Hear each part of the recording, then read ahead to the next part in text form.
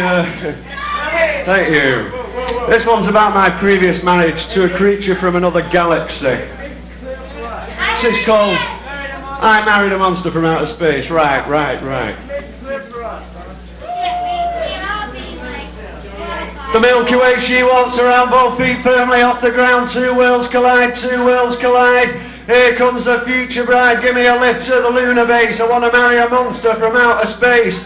I fell in love with an alien being whose skin was jelly, whose teeth were green. Big bug eyes, a death ray glare, feet like water wings, purple hair. I was over the moon, I asked her back to my place. And then I married the monster from outer space. The days were numbered, the nights were spent in a rent-free furnished oxygen sensor cyborg chef serves up moonbeams, done super rapid on the laser beam. I needed nutrition to keep up the pace when I married a monster from outer space. And we walked out, tentacle in hand, you could sense that the earthlings would not understand. They go nudge, nudge when we got on the bus. He said it's extraterrestrial, not like us, and it's bad enough with another race. But fuck me, a monster from outer space. This kind of atmosphere that went lame. She took a flight everywhere she came and read all the papers. Lots up the stars, Uranus is active, so is Mars. My horoscope was horrible, saw me to my face. Avoid monsters from outer space. A cybernetic fit of rage. She pissed off to another age. She lives in 1999 with a new boyfriend, a blob of slime.